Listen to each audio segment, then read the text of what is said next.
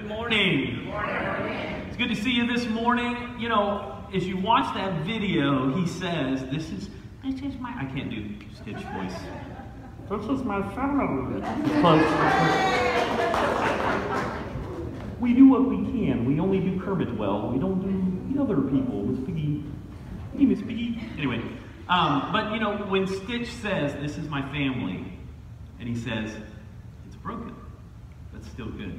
You know, we watch that video clip and we watch her fight for possession of him for, because she's accepted him. You know, in life, everyone, everyone wants to feel accepted and loved. And there's lots of people, you know, I told a story about somebody, and I'll tell it again today, but the truth is there's lots of people who've never felt accepted. They've never felt accepted for who they are, really who they are, and so they're afraid, so they hide, so they pretend, so they so they put on airs, so they pretend they're somebody they're not, or they attack other people because they've never felt accepted. And here's what I believe, and, and I hope today, here's what I hope to do today with this sermon.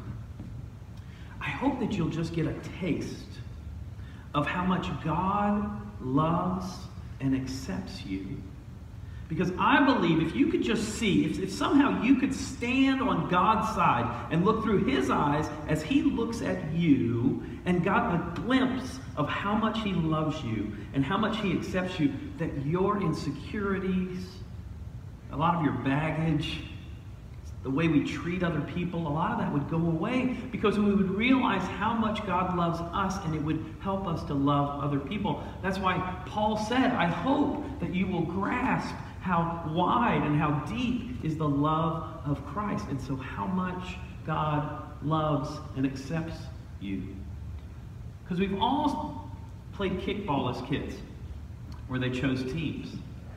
And we've all stood on the sideline, and if we were chosen early, we stood on the side watching kids get chosen and feeling bad for the one or two kids that we knew would get chosen last, or even worse, some of us were the one or two kids that got chosen last. But no matter whether it's kickball or something else, in life, often we feel like that.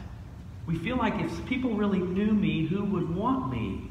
If people really understood me and they knew that I had a mental illness, or they knew I had a physical issue, or they knew the hurt I had, or they knew the habit I had, they would not want me. God wouldn't want me. We even try to hide it from God, like Adam and Eve, like somehow we can hide anything from God because we feel like He doesn't accept us.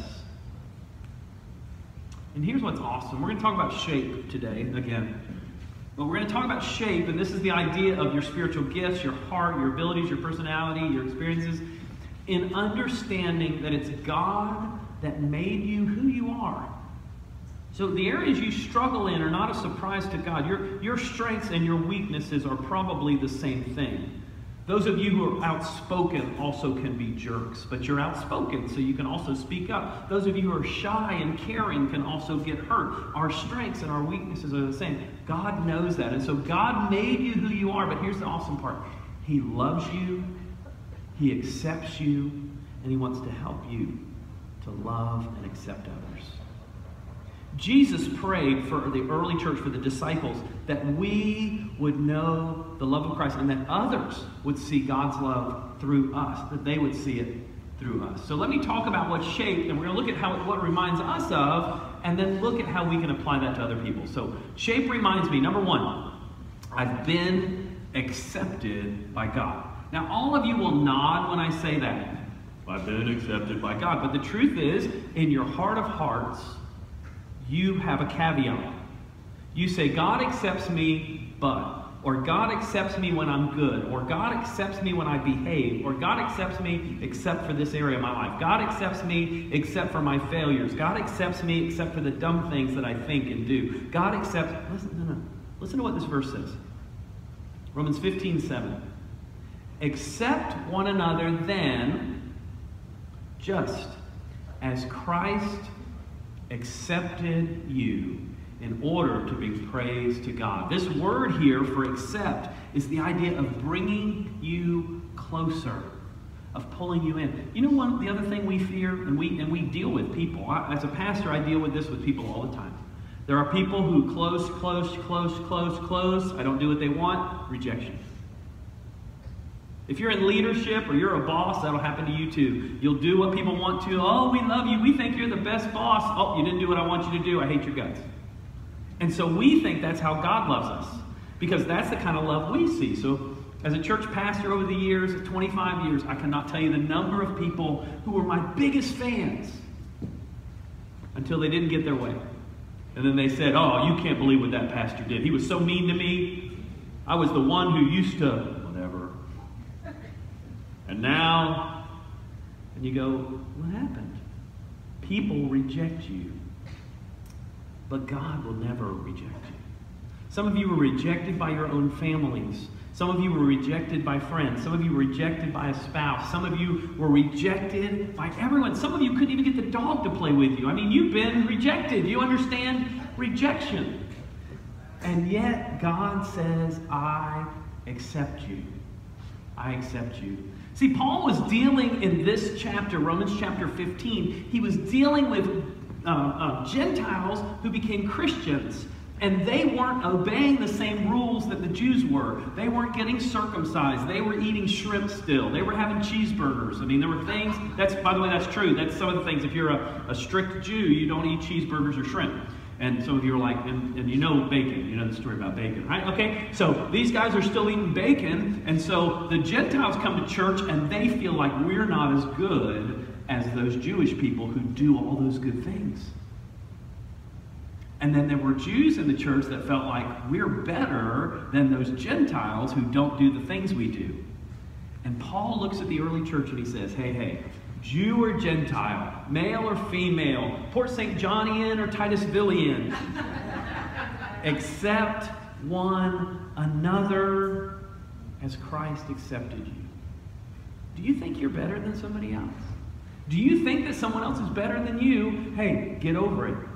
Get over it. God accepts you, not because of anything you do, but when you trust Jesus Christ, we all become a part of a big family. And if you're Italian, you become a part of a big family.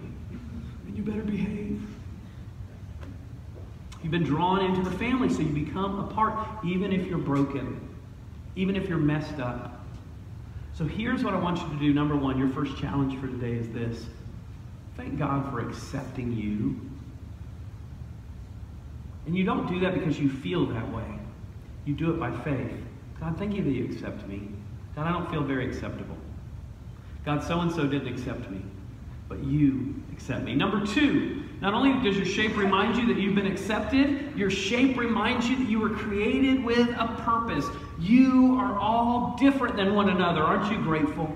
Aren't you grateful? Just take your hand and put it next to somebody's hand that's next to you and notice how different you are than the person next to you. I know it's a weird thing. If you're a dude, you can just put it on the chair or you can just kind of do this. Like, okay, I'm going to pretend I'm not really doing But, but just your hand alone, not to mention everything you do and who you are and how your pinky alone is totally different than the pinky next to you. That's how different you are. It's amazing that we can get along at all.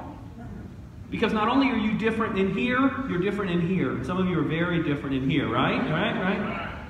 Some of you are like, God, we're thankful that we're not as different as Pastor Eric. We're very grateful. But listen to this. Listen to this verse. And, and for those of you who grew up with low self-esteem, I want you to I want you to put this verse on your wall.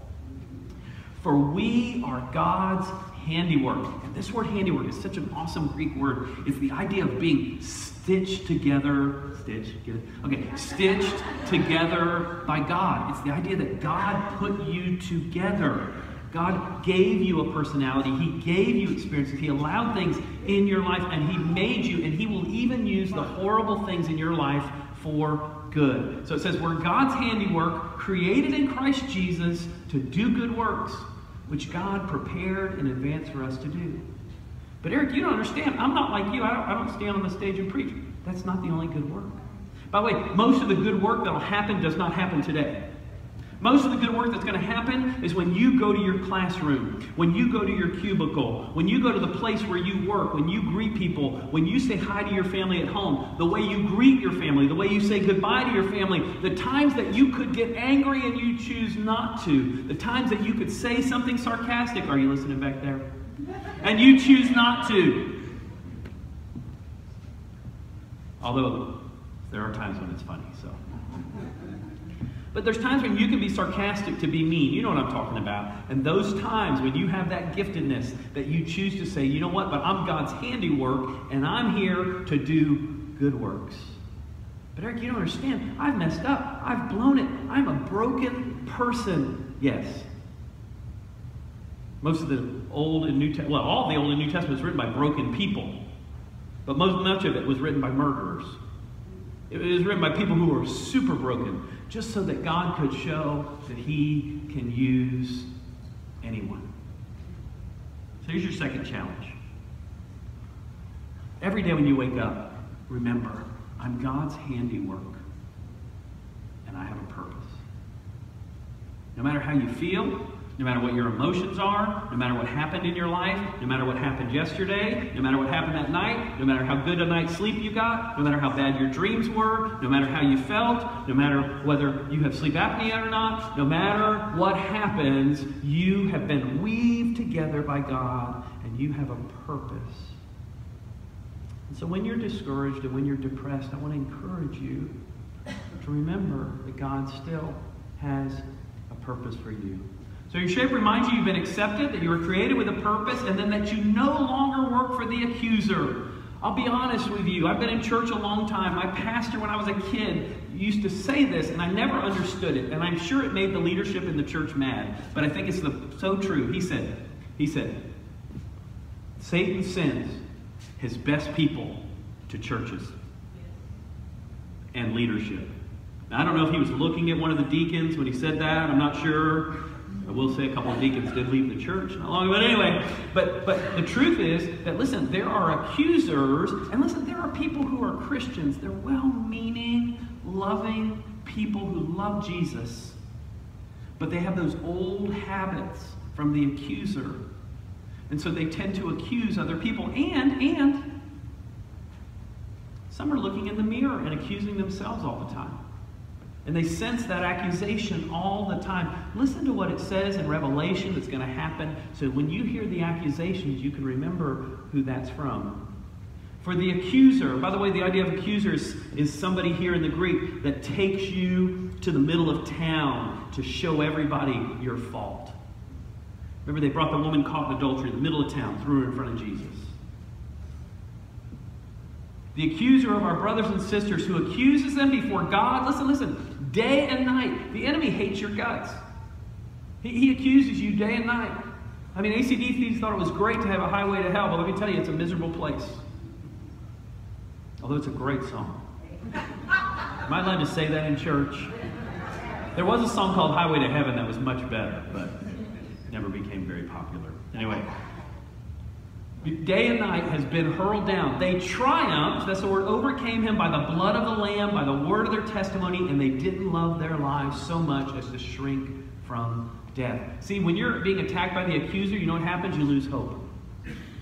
When you're being attacked by the accuser, you forget seeing that there's any purpose to your life. That's exactly what he wants. And when you, listen, and if Satan can't do it inside of you, he will send people to do it outside of you. People will come up to you and say, You're no good. People who come up to you and say, You can't do that. How are you going to do that? You know, you've blown it too much. You've messed up too much. Eh, who do you think you are? By the way, I've been literally told, Who do you think you are? I'm like, uh, Eric? Which is not the answer they wanted. They weren't very happy with that answer. Eric Brookins? Who do you think I am? Is there a mental illness issue? I don't know. September's mental illness month. I don't know if you knew that. We'll talk about that. I'll probably talk about it. What's important? Let, let me tell you something that's important. It's really true. Listen, there is mental illness in the church. And I want you to know if you struggle, we love you and we're here for you and we accept you. My father struggled with mental illness. We didn't even know it until he took his own life. But the truth is, listen, you have an accuser that will tell you if you struggle mentally that you're not as good as these people who don't. Others of you struggle with other things. Maybe you struggle physically with losing weight or something else, and the enemy will come and tell you, oh, you're no good, you're lousy, look at you, look at that person next to you, and get you comparing your mind, or get you comparing your body, or get you comparing your looks, or get you comparing anything to make you feel like you can't do anything. That's all he wants to do because he wants you to quit. But you have been accepted no longer do you have to try to achieve to please God. He loves you. See, if we went to the YMCA today, and if we went there today together and we did that, they would kick us out. But if we went to the YMCA together and we were all swimming, and we were sitting by the pool, we were swimming, and I look out Neil's swimming, and all of a sudden Neil gets a cramp. Ah, cramp! Ah! And he starts, help! And he starts saying, I'm drowning. And the pretty lifeguard jumps in, which I think is the reason that he pretended to have a cramp. But I just, you know, I don't want to question Neil, but so he fakes a cramp. Anyway, so so anyway, so he actually she pulls him out of the water, puts him on the side of the pool, right, and makes sure he's okay, and he's okay. If all of a sudden Neil on the side of the pool started saying, I'm drowning, we would then begin to think, there's an issue that has nothing to do with the pool, right? We would think, why? Why do you feel like you're drowning? Here's the truth. Jesus came and he saved you from your sin. Jesus came and saved you from accusation, and he said, You are mine. I love you. You are holy. You are righteous, not because you did anything, but because I pulled you out of that and I put you on the shore of my grace. And yet we still say, Now, how am I going to please God? How am I going to please God? Oh, now I have to figure out how to please God. I got to do something for Him. I got to please Him. I got to make Him happy. Listen, He absolutely loves you. Quit trying to swing. Sit in His grace. God is not accusing you. So when you hear accusation, here's your next challenge. When you hear accusation, say, that's not God. Now, that doesn't mean conviction. Conviction and accusation, two different things. We'll talk about that in a minute.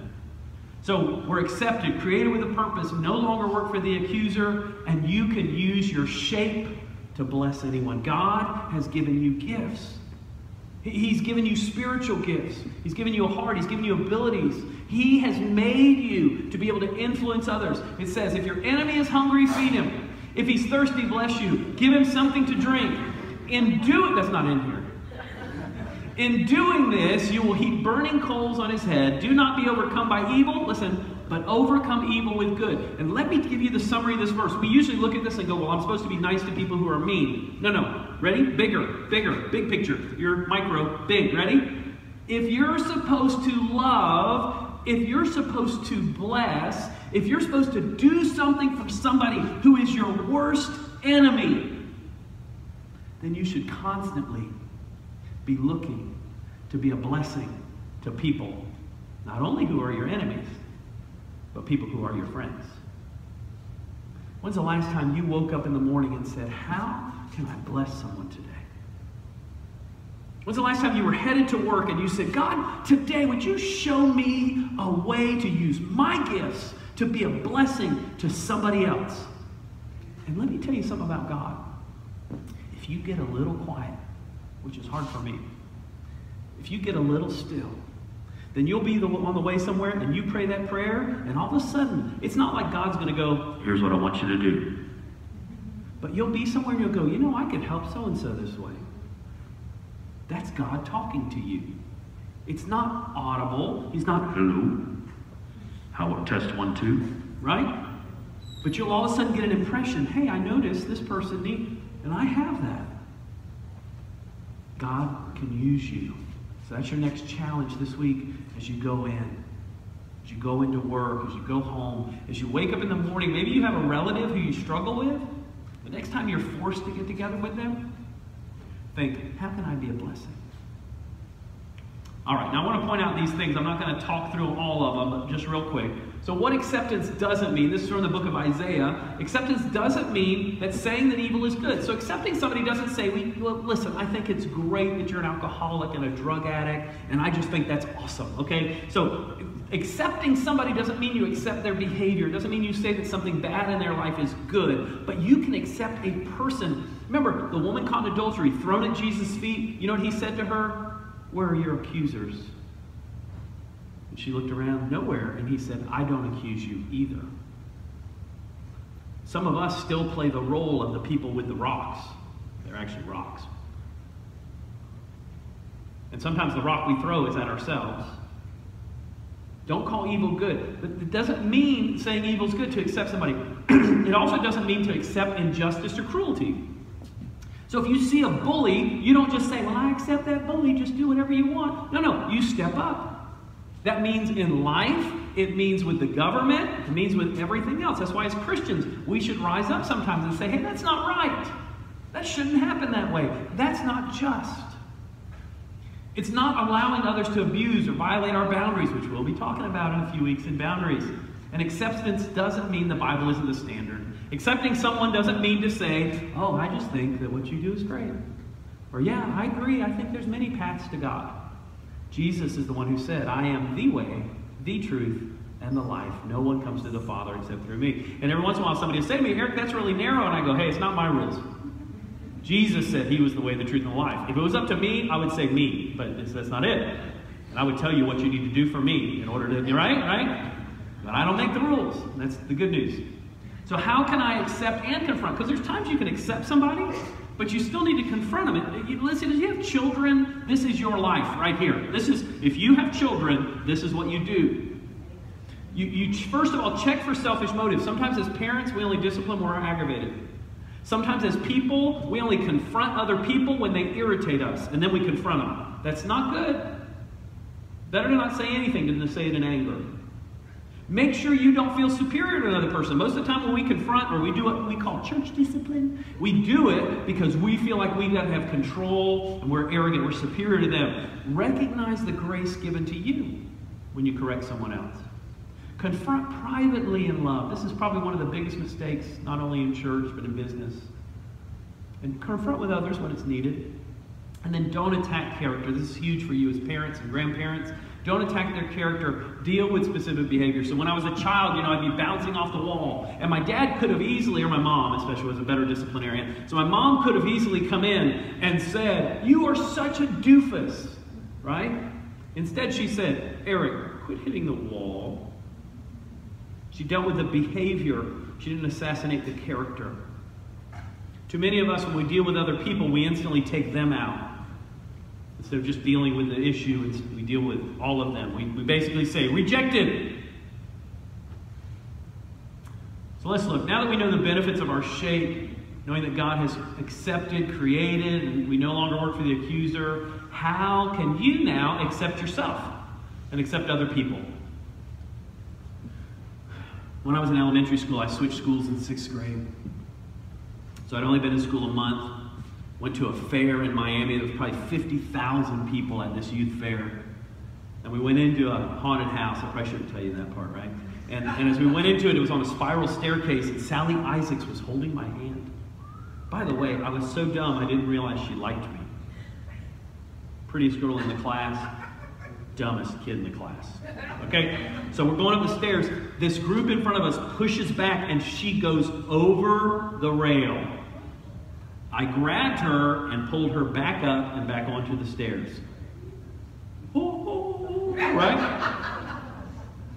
Now, once again, I'm so clueless. Sally Isaacs is writing me notes. She's looking at me during class. I have no clue. End of the year, Sally Isaacs comes up to me. Here's what she says I just want you to know her big blue eyes.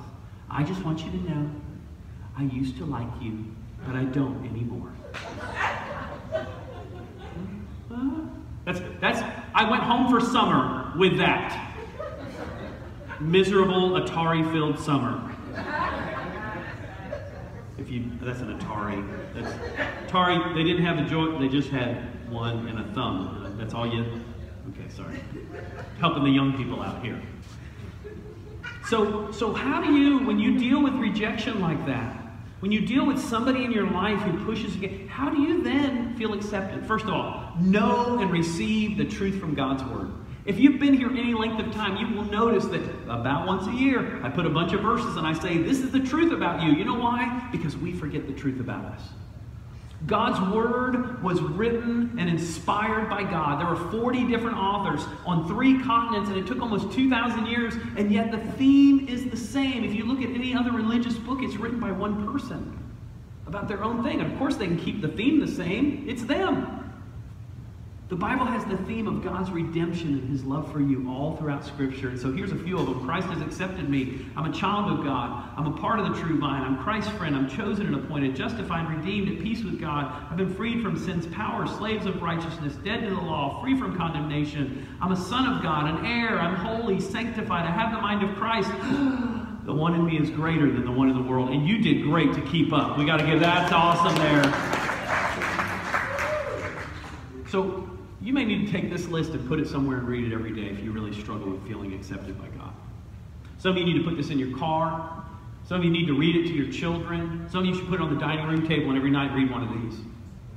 Put it somewhere that can remind you what God says about you. And here's the other thing spend time in God's Word. If you're not having a quiet time, I want to encourage you, even if it's just five minutes, not in the car, Get your Bible. You can. We have the Daily Bread out front. There's an app for the Daily Bread. They will even read it to you. You can push play, and they'll say, "Today on Daily Bread." Hey, right? And they'll read the scripture to you. You don't have to do anything but listen. But I encourage you, get still for a few minutes every day and let God pour His Word into you. Because here's the deal: if you watch any TV, they want to fill you with hate and fear because that's what sells. So if you watch any TV right now, the news guys are loving that there's a hurricane. If there was a hurricane anywhere in the world, they want to act like it's coming here. Because they want you to be afraid. They want you to be scared. Why? Because you'll watch it. Just do the same thing over and over. Because we love fear. And the Bible says, hey, perfect love casts out all fear. So as you start to receive God's love and cast that out, so spend time, allow God through His Holy Spirit to speak to you as you read His Word. Number two, not only to accept yourself and receive God's Word, remember that Jesus died for everyone. That'll give you a different look at people. God demonstrated His own love for us in this, that while we were still sinners, not when you had it together, not when you did something good, not when you came to church, not when you got it right, not when you gave some money, not when you did something smart, while we were yet sinners, Christ died for us. So we not only receive truth from God's word and remember that Jesus died, we walk in the promise that God has saved us. If you declare with your mouth that Jesus is Lord and believe in your heart that God raised him from the dead, you will be saved. For it is with your heart that you believe and are justified, and with your mouth you profess your faith and are saved. For everyone who calls on the name of the Lord will be saved. So have you done this? If you've done this, you need to remember that you're saved by grace because you've been saved by grace, you need to give other people grace. People who are broken and messed up. You don't have to accept what they're doing. If somebody's an alcoholic, you can love them. You do not have to give them a dime. You can accept them. They'll say you don't when you don't do what they want, but you can accept them and care about them and yet not help them in their addiction to be more addicted. You've been given grace.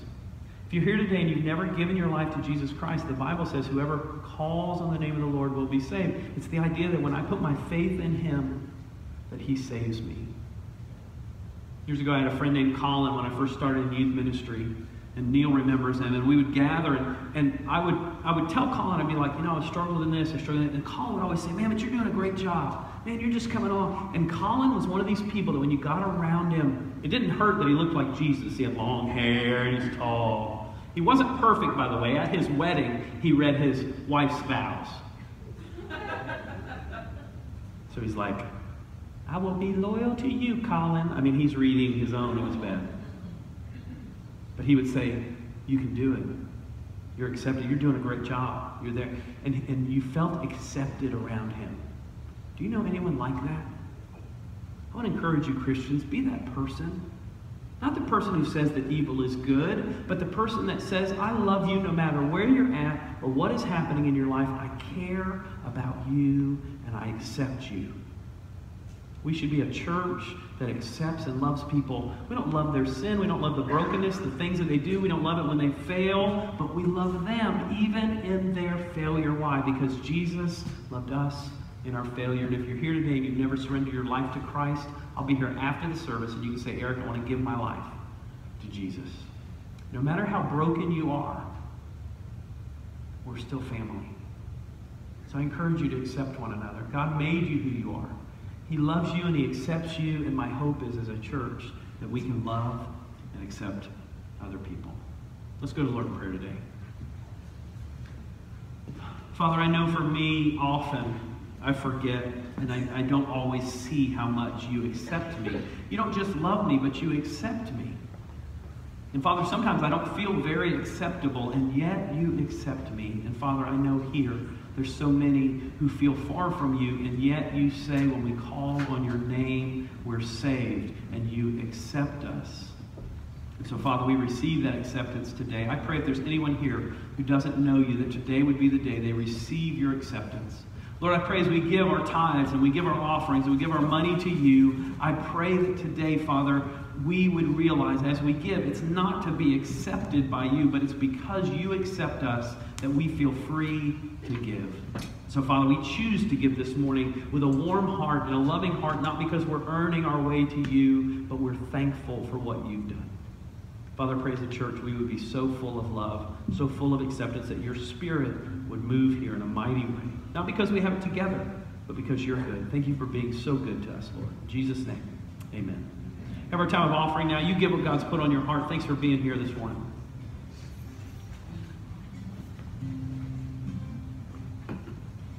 Amazing grace, how sweet the sound.